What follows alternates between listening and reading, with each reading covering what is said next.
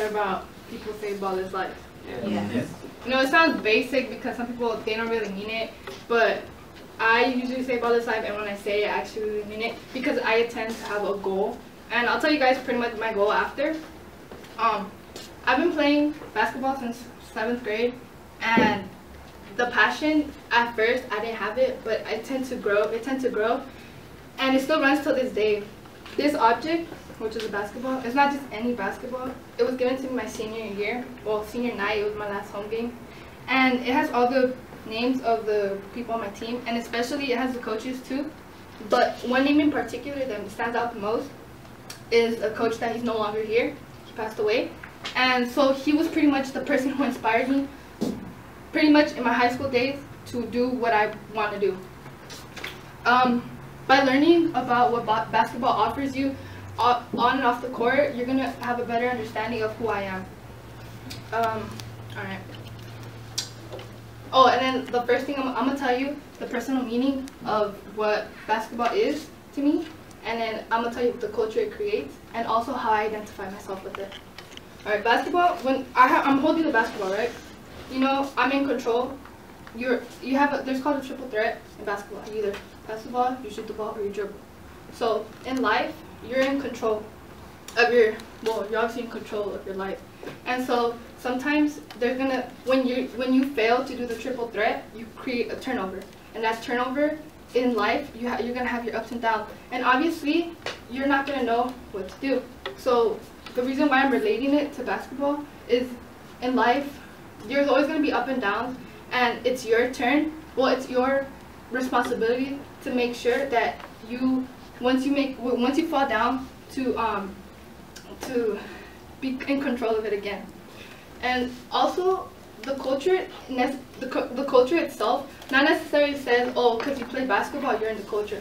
To me, if you are gonna say, oh, ball is life, or I like basketball runs into me, it's you have to have the eagerness to give it your all, regardless how the score is, regardless if you're having a bad game, regardless if you, you give a bad pass, because it's the next pass that matters, the next play that matters, because at the end of the day, you, if you show your eagerness, you show how how willing how willing you are to not give up in a game, it pretty much shows you how you are as a person. And I just described how basketball, well, my personal meaning and how basketball culture itself, but I'm gonna tell you guys how I identify myself with the culture.